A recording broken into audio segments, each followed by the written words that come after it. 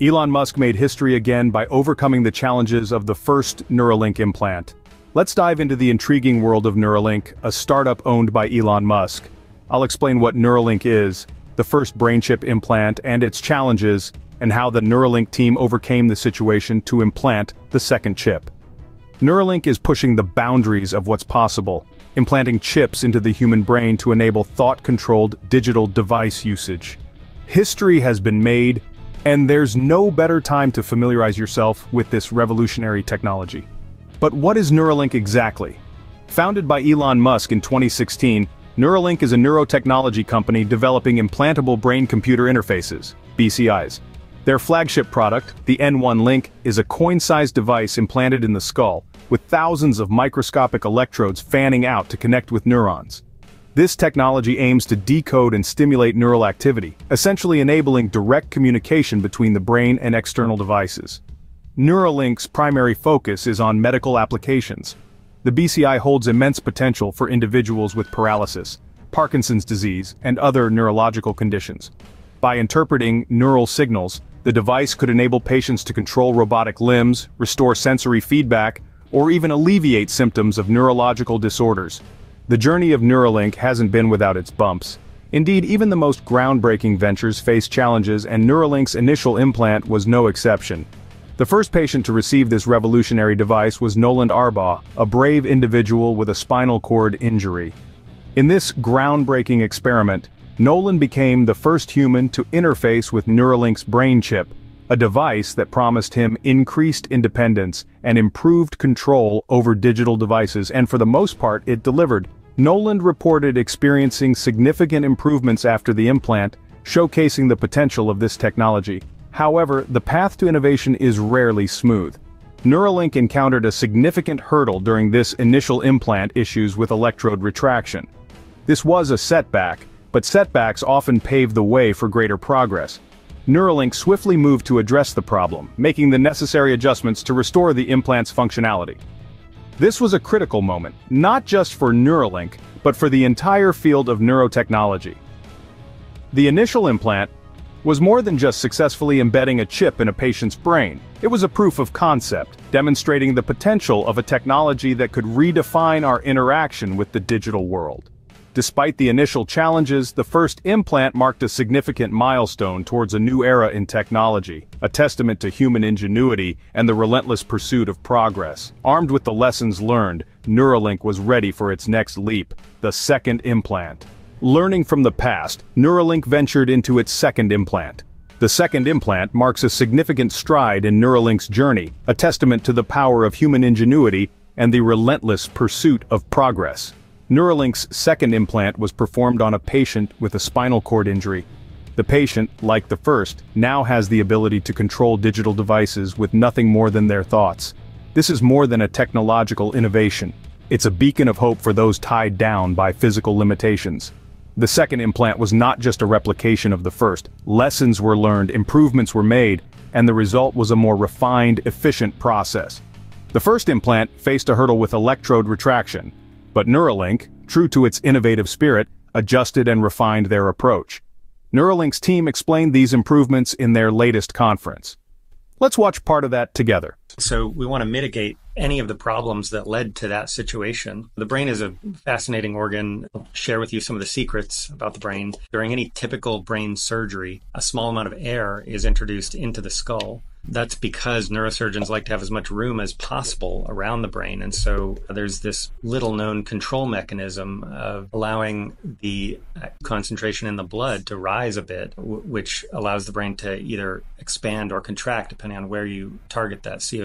But typically, neurosurgeons will have the brain shrink by lowering CO2. What we're going to do in our future surgeries is keep the CO2 concentration actually quite normal, maybe even slightly elevated. That'll allow the brain to stay its normal size and shape during surgery. That should eliminate this air pocket that we saw in the first participant. Uh, that air pocket we think may have contributed to eating up some of the thread slack as, as the air bubble migrated to be under the implant, push the brain away from the implant. And so that's easy enough to fix. Another consideration that we want to focus on for our upcoming participants is uh, that the brain, think of it like a really complex folded onion. It's layer upon layer of sheets of neurons all over the surface of the brain, folded into this odd looking shape. The folds of the brain travel down deep into the brain, and, and along with it go those onion layers of neurons. And if we insert very close to one of the folds where there may be very useful information encoded in neurons, we may end up traveling with our threads parallel to some of the layers of neurons that we're most interested in, avoiding them entirely. To avoid that possibility, we're going to insert in our future participants more close to the middle of the apex of the folds, ensuring that we're crossing the layers of interest, layer five of the cortex. Another of the risk mitigations we're looking at in the future is that the implant has a certain size, the depth of the bottom of the implant is actually thinner than the average human skull. And so what we want to be able to do is control the size of the gap under the implant, give the threads that travel from the implant into the brain as much slack as possible.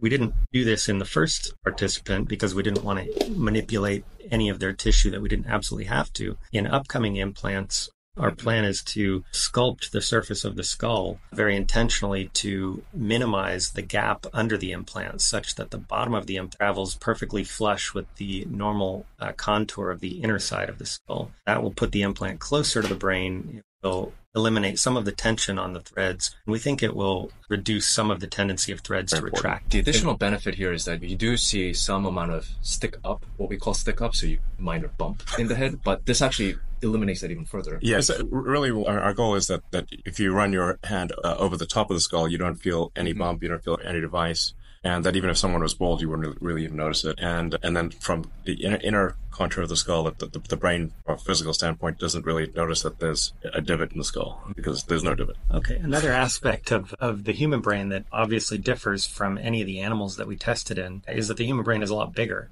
And so you may not realize that means the, the human brain moves quite a bit more than any of these other smaller brained creatures.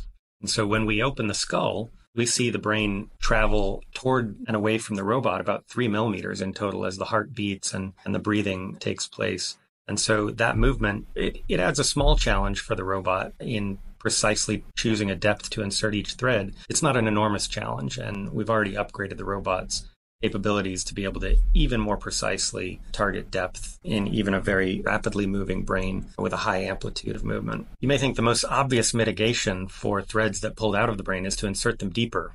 We think so too. And so we're going to broaden the range of depths at which we insert threads. For the very first participant, we had an enormous amount of data from our animal work, and we had very highly optimized our insertion depth to maximize the crossing of the layers of interest in the cortex with the electrodes that we're recording from. Now that we know retraction is a possibility, we're going to insert at a variety of depths that even in several cases of differing amounts of retracting threads, we're going to have electrodes at the proper depth. And with the deepest threads, be able to track how much retraction has occurred across the surface of the brain from each thread. And so we're going to both have more threads in the right layer and have better data on how much retraction has occurred. If you're a BCI nerd, you might know that being able to control individual Z depth per thread is not something that most neural interface devices offer. Most neural interface devices are static fixed rigid array that you push in and all the electrodes are on depth. To be able to do this is actually pretty pretty novel part of the robot. Yeah, the historical approach is to actually pound in a sort of bed of nails with an air hammer into the brain. Well, crazy. Yeah. That, that, yeah, just